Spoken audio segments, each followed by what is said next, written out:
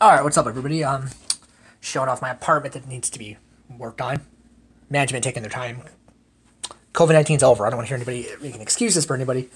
People are getting back to work. It's time for that to be done. But on a side note, I'm having a very bored night. Uh, so I just thought I'd uh, mention that I ordered the remake of Psycho with Vince Vaughn. 10 bucks used the Scream Factory copy. Because I just had to watch the commentaries, which is currently what I'm doing. I'm a commentary hog, regardless of you know how good a movie is or how bad. But nonetheless, I have to point out that oh my god, are they really humping each other on the commentary here?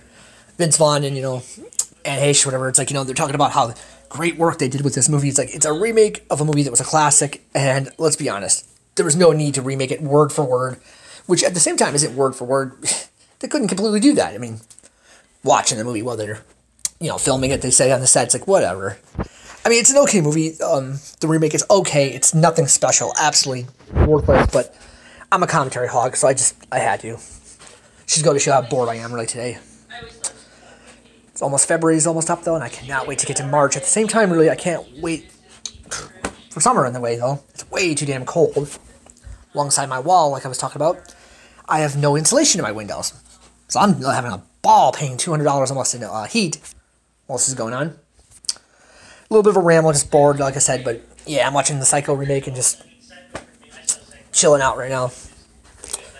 Alright, this is just a little bit of a nothing video. Hope everybody is having a good night. Take care. If you like this video, please subscribe. Give me a thumbs up if you wouldn't mind. Enjoy your night.